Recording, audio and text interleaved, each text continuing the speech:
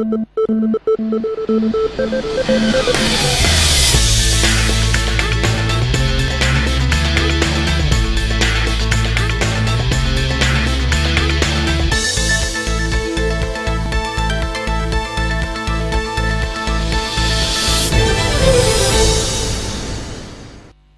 Добрый вечер. В эфире передача «Точка зрения» на канале Dotcom TV. Сегодня выпуск нашей передачи посвящен работе фирмы Clean Air в нашем городе. А, не всегда, что руководство Думы а, периодически встречается со всеми сторонами, так или иначе вовлеченными в сферу обхозяйствования мусора в нашем городе. А сегодня мы решили дать своим телезрителям такую возможность ну, заочно встретиться с руководством компании Air и задать ему свои вопросы о работе компании.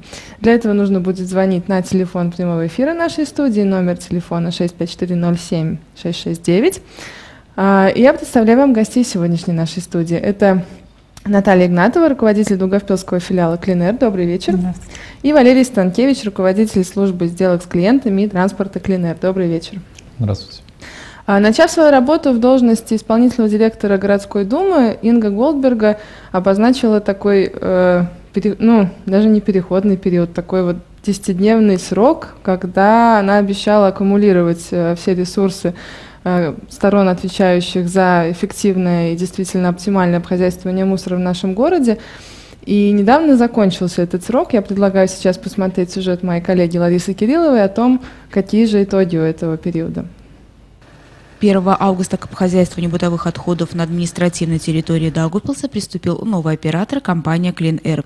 И по сравнению с первым месяцем его работы, когда горы мусора можно было наблюдать повсюду, спустя три месяца ситуация начала меняться к лучшему. Тем не менее, жалобы от даугупилчан на недостаточное количество контейнеров, несвоевременный вывоз бытовых отходов, образование стихийных свалок продолжают поступать в городскую думу. А это значит, что проблема с вывозом мусора по-прежнему для нас актуальна актуально, говорит исполнительный директор самоуправления Инга Голдберга. Я еще хочу раз повторить, что вопрос о э, мусоре жителей не должен волновать. Они должны знать, где выносить, когда выносить и вообще не замечать, если где-то не, без, нету беспорядка и не замечают. Тогда, только тогда можно будет сказать, что ситуация нормальная. На устранение недочетов самоуправление дало Клин-Р 10 дней. Срок истек на прошлой неделе. Что изменилось за это время? Несомненно, увеличилось количество контейнеров во дворах многоквартирных домов, граничащих либо с частным сектором, либо с дорогой. В свою очередь, в многоэтажках, где есть мусоропровод, были установлены контейнеры большего объема. Кроме этого, компания Клин-Р скорректировала графики вывоза бытовых отходов с дворовых территорий. С января следующего года оператор должен будет им следовать в обязательном порядке. Клин-Р также обязался провести разъяснительную работу среди жителей частного сектора, которые до сих пор не заключили договор с новым оператором. Таковых, согласно данным Клин-Р, 10% от общего количества горожан, проживающих в индивидуальных домах. Поэтому неудивительно, что число стихийных свалок пока не уменьшается, а в контейнерах, предназначенных для зеленой массы, оказываются и бытовые отходы. По моему наблюдению, э, объезжая, смотря город, э, самые большие проблемы у нас в тех местах, где рядом частный сектор или главные дороги. Там появляются эти стихийные и свалки, которые как раз и замечают горожане. Достигнуть положительного результата, по мнению исполнительного директора городской думы, можно лишь объединив усилия всех сторон. Клин-Р, городской думы, контролирующих институций, а также самих жителей. И результаты работы, которая была проделана в течение 10 дней, являются тому наглядным примером. За это время они поработали хорошо. А если будут также продолжать, и мы будем за этим следить, то я думаю, что ну, скоро вопрос о мусоре в Долгопилсе уже будет не актуален, потому что все будут знать, и все будет в порядке.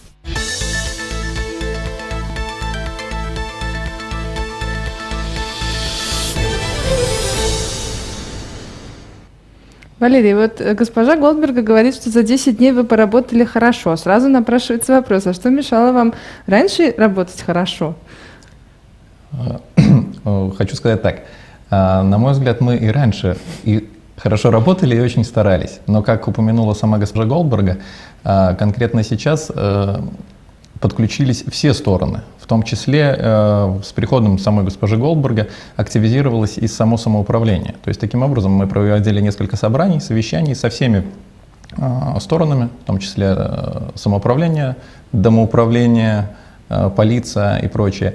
И были обозначены более конкретные, э, скажем так, пути, пути развития. Есть какие-то задачи, которые мы решали в течение 10 дней, названных, да, какие-то конкретные. Есть какие-то задачи, которые решать еще предстоит, и это более длительный процесс. Если более конкретно, то на одних заседаний поднялся вопрос района Грива, где был перегружен один из дней вывоза, конкретно это была среда. А сейчас э, этот день уже разделен на среду и воскресенье, и уже с 7 декабря э, объем, ну то есть будет, будет разделен, маршрут будет более эффективным. А сейчас проходит как раз э, обзванивание всех клиентов, то есть мы связываемся с каждым клиентом и информируем об изменениях в графике. Это если так конкретно, да, то есть а также было получено соглашение с Думой о том, что на будущий год мы в начале января всем своим клиентам вышлем календарики с конкретным днем вывоза каждого клиента. Таким образом, чтобы каждый клиент четко знал, в какой день у него вывоз мусора. Потому что сейчас мы получали несколько жалоб о том, что клиенты путают дни, недели, Э, не всегда хорошо знают свой график, так как ну, стараются экономить и не заключают договор на э, ежедневный э, вывоз мусора. Еженедельный, извиняюсь, вывоз мусора. Замечательно. А если, например, в течение года поменяются у вас графики, то что, календарики уже будут недействительны? Год – это большой период как бы. А, нет, ни, никто не планирует менять графики еженедельно или ежемесячно. То есть, ну, то есть в, в принципе, э, этот график, он работает э, постоянно. Исключение может быть тот случай, когда сам клиент хочет что-то поменять в, в своем графике. У него такая возможность есть, он может прийти к нам в офис на Лач Площадь 10, э, либо позвонить на наш контактный номер телефона, и ему расскажут подробно, как и что надо сделать для того, чтобы можно было этот график изменить. Mm-hmm. График, изменение графика вступает в силу так же, как и заключение самого договора после подписания обеих сторон. То есть Приходите, добро пожаловать. Если хорошо, он знает день, вы, когда вывозят мусор у него, как узнать точное время, когда лучше всего выставлять контейнер, собственно, на улицу? Лучше всего контейнер на улицу выставлять с утра, перед походом, скажем так, на работу. Конкретное время не обозначается. А, мы работаем с 6 часов утра до 10, 10 часов вечера. А, таким образом, э, машина в любое время, в любое может, время может появиться. Ясно. Но идея э, тут немножко в другом. Э, в связи с тем, что город новый, мы входили вот этот период, он э, достаточно короткий. Э, постоянные изменения, они влекут за собой изменения не только для конкретного клиента, но и для последующих, либо предыдущих. Ну, то есть, таким образом, надо не забывать, что если даже вы ничего не меняете, это не значит, что э, мы сейчас приедем вам каждую неделю в одно и то же время, так как более крупные, к примеру, клиенты, как э, тот же ПЖКХ, э, внеся небольшое изменение в своих э, расчетах, влияет, желая того или не желая, на всех остальных клиентов, так как у нас либо более долгое время на подъем контейнеров, либо более короткое.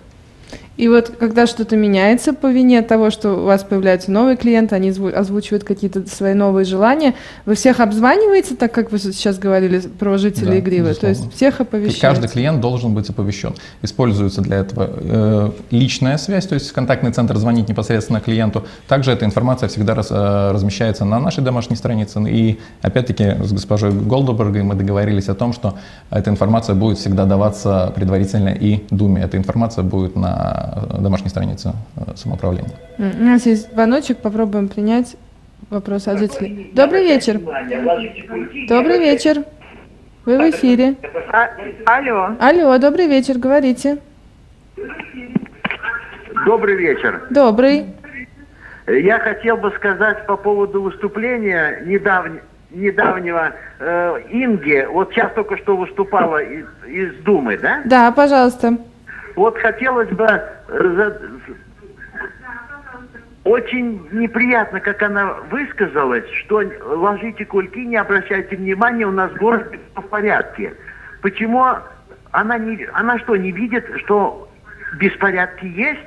Если она не видит беспорядки, пускай позвонит мне, я ее провезу по всем участкам и покажу, где беспорядки, где мусор валяется неимоверном количестве. Хорошо, я запишу ваш номер, Почему она- передам она исполнительному директору? Думы. Договорились. Поняла, спасибо за вашу претензию. Я обязательно передам ваше предложение госпоже Голдберге. Всего хорошего. До свидания. Хорошо, понятно. Так, претензия к исполнительному директору. Будем дожидаться звонков непосредственно к КЛИНР. Я напоминаю, что номер прямого эфира 654-07-669. А, графики обсудили, хорошо. А, а вот если в случае с частным сектором э, житель вот частного дома просто забыл выставить контейнер в конкретный день, а у него, ну, скажем, там он заказан вывоз мусора раз в две недели, что ему делать? клиент должен оповестить нас, то есть, соответственно, или позвонить в наш колл-центр, или прийти на Лач Пиши 10, наш офис. Или на нашу, опять же, страничку зайти, да, и нам сказать. И тогда в течение трех дней мы вывезем этот мусор бесплатно. Что ему делать, если э, контейнер был каким-то образом поврежден? Вот контейнер, который вы даете ему по договору, он вообще чья собственность? Кто за него отвечает? За него отвечает клиент, который берет в собственность, конечно. Мгм, То есть, если его подожгли... Арендует. Ага. Если его подожгли, да, в этом случае он должен обратиться в полицию и принести нам заявление. И тогда этот случай будет рассматриваться индивидуально. Ну, То есть, следующий контейнер ему также бесплатно отдадут или уже бесплатно Да, будет? да, да. Мгм. Что делать, если у тебя воруют мешок? Это самый злободневный вопрос, который вообще сложно поверить. Но я так понимаю, что в Даугавпилсе вы реально сталкиваетесь с такими случаями, что э, содержимое мешка выбрасывается прямо на дорогу, и мешок воруют. Я так понимаю, что нигде больше в Латвии такого нету, да? И советы, наверное, тут дать тоже. Но это зависит от нас самих, да, живущих в Даугавпилсе, конечно. Ну да, в принципе, эти инциденты, которые есть, они показывают культуру, к Да, сожалению, наших жителей, некоторых. У нас очередной звонок. Добрый вечер, вы в эфире. Добрый вечер. Добрый. И, э, По поводу вывоза мусора из частного сектора. Во-первых, я хотела бы сказать, мне давно наболело высказаться, что для частного сектора мы не то что получили какую-то скидку, а лично вот я в два с половиной, почти в три раза должна платить больше, нежели я платила старому, э, э, кто вывозил мусор. спросить? Старая организация, прежней. Теперь следующее. Меня интересует. В этом году нам дали, сделали одолжение, разрешили в контейнера э, складывать и зеленую массу, и, и бытовой мусор. На будущий год, как я понимаю, мы будем этого лишены. Теперь создаются такие по местам переносные какие-то э, места сбора зеленой массы в осеннее время, когда идет уборка. Скажите, пожалуйста, в состоянии ли я, пенсионерка в 75 лет, таскать эти мешки с этой зеленой массой, а ее бывает много на частных участках, э, к этим местам общего сбора. Для кого эти облегчения, скажите? Если у нас мусор раньше вывозился, вот в частности, это улица 18 ноября, напротив э, Ингриды, заправки, 196, 198, Ежедневно были такие дни, что мусор уходил. В этом году у нас стояла вонь, потому что мы по две недели в этих контейнерах обычный вот этот бытовой все-таки отходы и, и фрукты, Ну, всё понятно. и прочее. По Всё пов- это гнило и воняло. По, Скажите, поводу- по поводу как вашего... на будущий год? Сейчас, сейчас спросим. Время. Я вот заключила на контейнер. Да, летом, зим, ле- осенью у меня мусор будет. А что я буду зимой ложить и платить почти по 6 евро за двухнедельные два раза вывозку мусора, э, два раза в месяц? Сейчас спросим у представителей компании. По поводу вашего первого вопроса, по поводу платы. Наталья хотела вас что-то уточнить. Что? Ну, уже женщина сказала, что контейнер. А, Да, контейнер. да. Ясно. Хорошо, спасибо вам за звонок. Сейчас будем обсуждать, услышите ответ представителей потому фирмы. что это Да, спасибо. Вы проиграли полностью. Спасибо, всего хорошего. Ну вот горожанка сказала, да, что у нее контейнер. Да, если контейнер вам много летом, как она выразилась, то вы можете к нам прийти перезаключить договор на мешочки. Мешочки стоят 10 евро 61 цент. 12 да, 12 мешков в комплекте. То есть она может летом пользоваться мешочками, и потом, опять же, в зимний период прийти к нам и заключить договор на контейнер.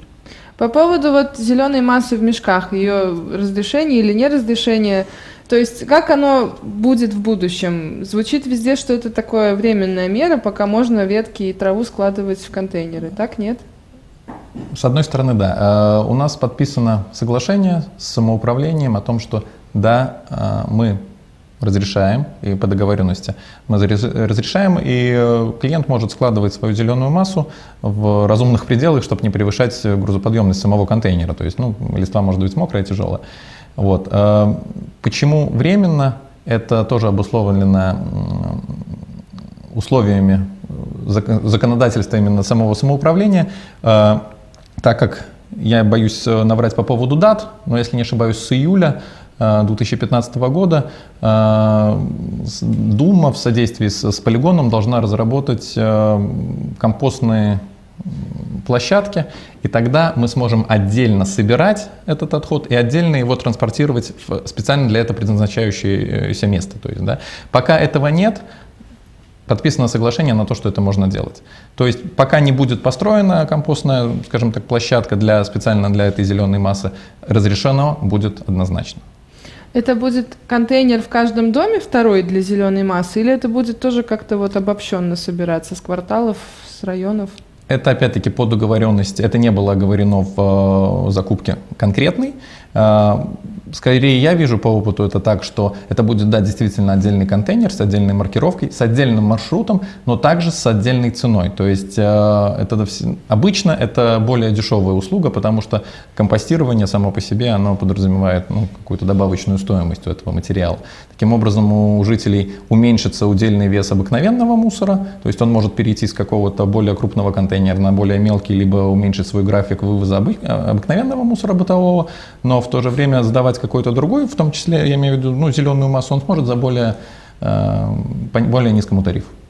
Ну, а на сегодняшний день, если у человека, ну, очень много, я там читала в комментариях буквально, что люди пишут, там, убрал весь участок около дома, набрал 10 мешков листвы.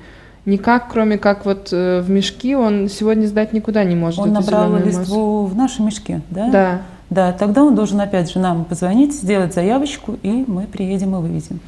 Да, то есть нету такого количества ограниченного, чтобы наши мешки, пожалуйста, мы забираем. Или он может тогда каким-то образом доставить их все-таки в большой семикубовый контейнер, который... Который установило коммунальное хозяйство по городу, да, их всего пять штук, да. Угу. Шесть, да, с нашим, да. Хорошо. Как вывозится крупногабаритный мусор из частного сектора? Что нужно делать? Также, как я уже говорила, нам нужно написать заявку, то есть нас оповестить, чтобы мы об этом знали, да, заявку или позвонить в колл-центр.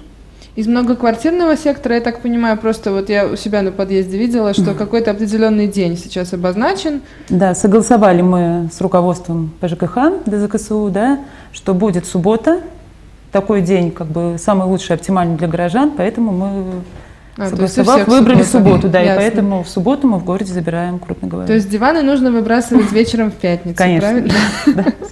Да, Если ты делаешь в квартире ремонт, то это уже совсем другой вид мусора. Его не нужно выбрасывать в пятницу во дворе, правильно? Нет. нет. Что нужно делать? Также приходить к нам, писать заявку, и мы вывезем это 7-кубовым, для этого есть специальные контейнера да, для крупногабаритного мусора. Угу. А, еще раз по поводу мешков хочу вернуться в частном секторе. Была такая информация, что якобы они вообще скоро прикажут долго жить, что их э, вообще не будет. Это соответствует действительности или нет? В рамках существующей договоренности, существующего договора с, э, об, об обхозяйствовании мусора с городом, нет, они будут, они являются одной из составляющих частей всей, всей системы. То есть минимальный объем контейнера, с которым мы работаем сейчас, является 240 литров. А, либо, если у клиента есть в собственности 120 либо 140 литров контейнер, мы его тоже принимаем и обслуживаем. А, если клиенту надо более маленький объем, то есть минимальный объем, это 100-литровые мешки. Таким образом, пока что, если самоуправление не выйдет к нам с предложением о каких-то изменениях, и мы не обсудим это на двухсторонних а, переговорах, то никаких изменений не планируется. Контейнеры 120-140 литров вы все еще не предлагаете, не продаете или продаете? Предлагаем и продаем. Контейнер 120 литров стоит 27 евро 10 центов. Да? То есть его можно прийти к нам и приобрести. И Свою собственную, конечно, в отличие конечно. от 240-литрового, да, который да. выдается в аренду безвозмездно. Да, да все верно. Угу. А, расскажите, какую акцию вы готовите 6 и 7 декабря в нашем городе? А, это тоже, как упоминала госпожа Голдберга, 6-7 декабря а, мы готовим акцию об скажем так, окончательном или заключительном информировании э, частных, э, частного сектора, жителей частного сектора, которые еще не заключили с нами договора. Таковых на сегодняшний день уже э, порядка 5%, но все же. Да. Будет 4 точки, скажем так, куда будет подъезжать специально разрекламированный микроавтобус нашей компании. И у горожан будет возможность непосредственно на месте заключить договор, причем заключить его сразу же на месте, и уже до конца текущего дня вечером получить контейнер, либо приобрести мешки. То есть э, услуга будет полного сервиса и, и сразу. Э, этих мест будет четыре. Это я могу назвать даже сейчас уже. Это улица, э, перекресток улицы Гулбью Аптекас на площадке возле заправочной станции НСТ.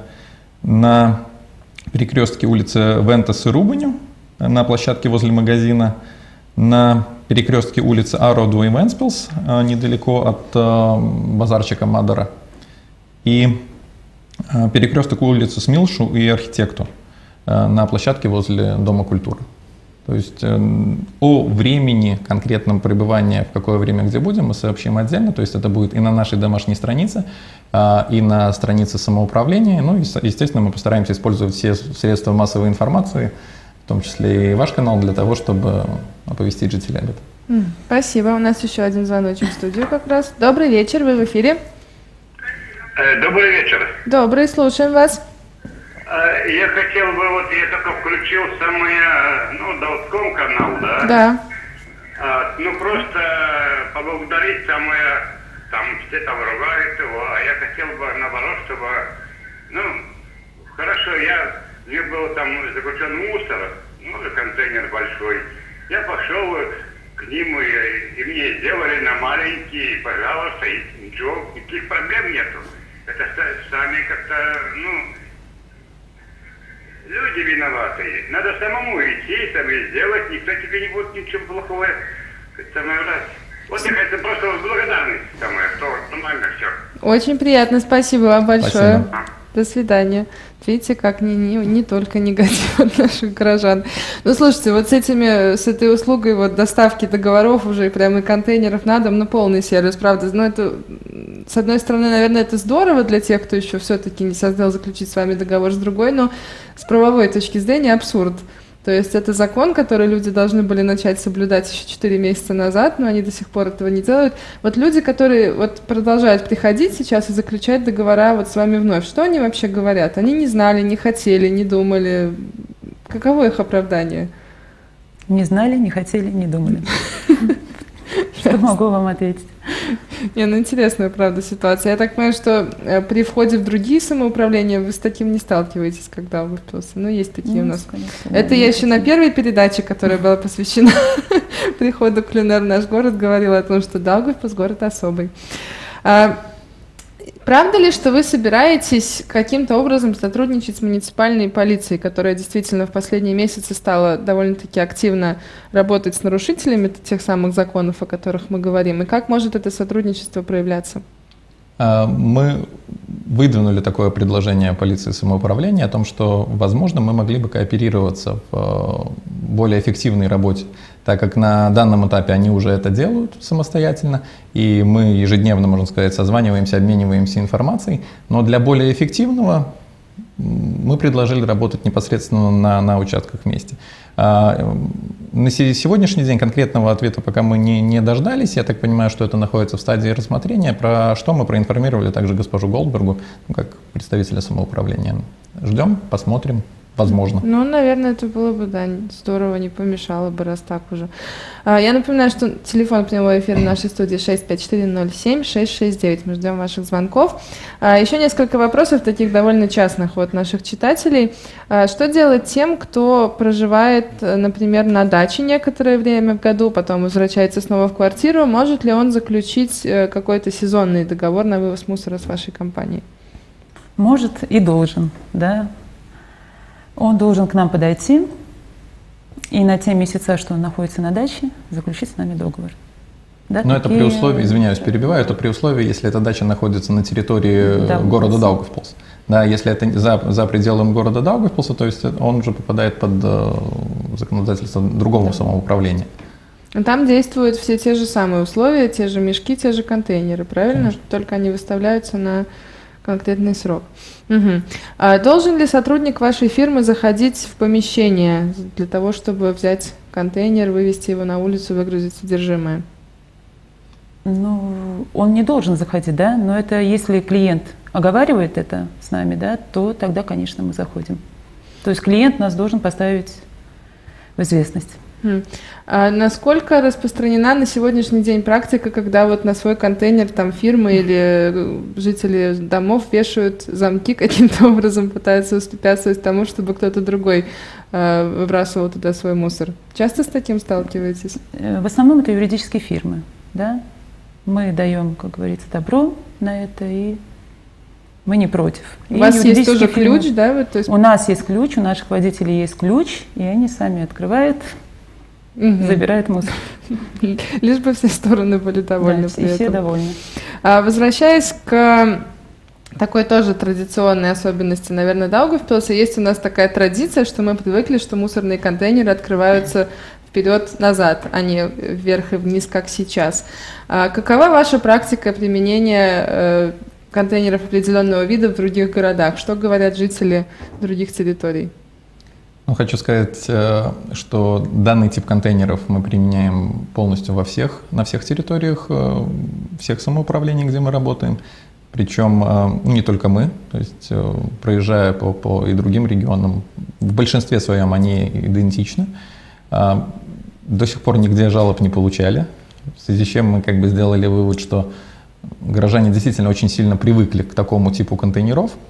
К сожалению, при, при закупке, при формировании этого конкурса, может быть, не было обращено на этот э, момент внимания, да, и тем самым э, на данный момент мы закупили уже весь контейнер- контейнерный парк так- такой, какой он есть, то есть такие контейнера, какие они есть.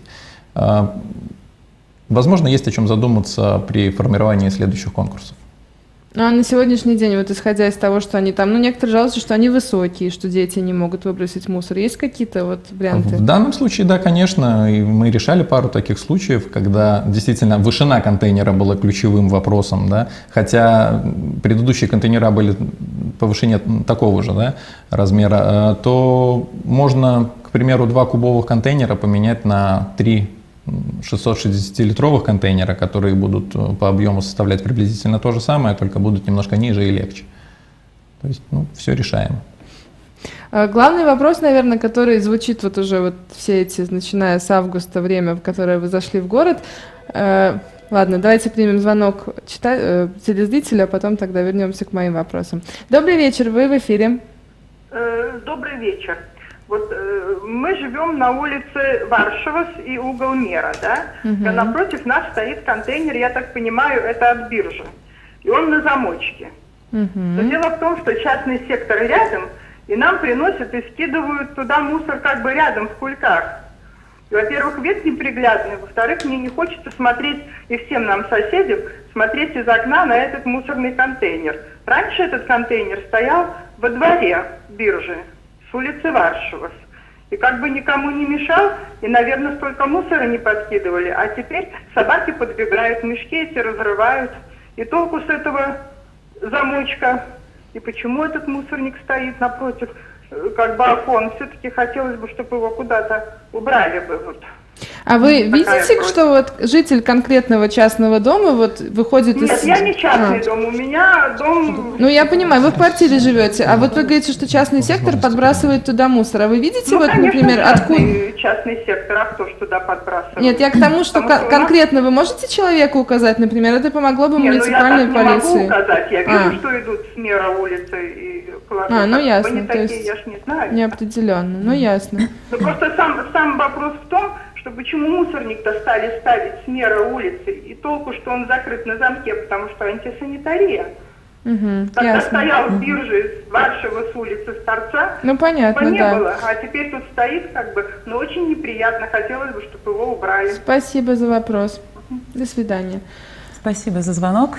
Спасибо что за информацию. Мы обязательно завтра же поговорим с руководством биржи и, может быть, перенесем, попросим руководство перенести его на прежнее место. Ну, странно просто, да, если они раньше ставили его да. там. А вот эти вот места, где стоят контейнеры, это от кого зависит? От вас? От, от клиента. клиента? Угу. А, так, что я, что я хотела спросить? У меня уже и мысль вылетела, что я хотела спросить. Так, ладно. А, хорошо, значит, это нужно согласовывать с биржей. Ну да, спросим, что это такое. Вообще вот по поводу оставления э, мешков около контейнера, я так понимаю, что вы часто с этим сталкиваетесь, что вот контейнер пустой, а рядом мешки стоят. Как это объяснить? Никто не знает. Почему? Как это объяснить? Это опять же зависит от наших горожан. Нужно просто поднять крышку и выкинуть мусор. Ну да, я так понимаю, что и в этих вот семикубовых контейнерах для зеленой массы там та же история. Та, То же, есть, та же ситуация. Причем зачастую даже не надо крышку поднимать. Ну просто да, там просто надо выбросить. Да. Ну да, к сожалению. Это, к сожалению, культура каждого индивидуального человека. То же самое, что в какой-то степени может происходить где-то на обочинах, за городом, либо в лесу, вне зависимости от того, э, какой оператор в городе работает. Но если человек может себе позволить вывести мусор в лес, ну, соответственно, это свидетельствует о его культуре. Угу. А, вспомнила свой вопрос. А, про то, что а, я хотела сказать о том, что с самого начала, как вы пришли в город, наверное, самый частый вопрос – это почему снизилось количество контейнеров в городе? Почему его не стоит адресовывать вам, и можете ли вы как-то повлиять на то, чтобы увеличилось количество контейнеров в том или ином месте? Вы можете это сделать реально? Не, мы можем повлиять. Но почему, сначала отвечу, почему, почему уменьшились? Клиент заказывает контейнера, заказчик. Соответственно, мы э, ставим столько контейнеров, сколько у нас заказали. Да?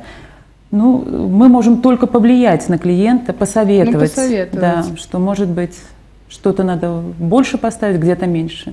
Только посоветовать, да? Клиент все решает заказчик. Ну да, то есть в данном случае, если вы живете в квартире, то вам следует обращаться к своей обслуживающей организации. Конечно, конечно потому что только она определяет э, да. нормы какие-то, как-то их там подсчитывает и в итоге заказывает контейнеры у клинера, потому что действительно это, наверное, самое распространенное.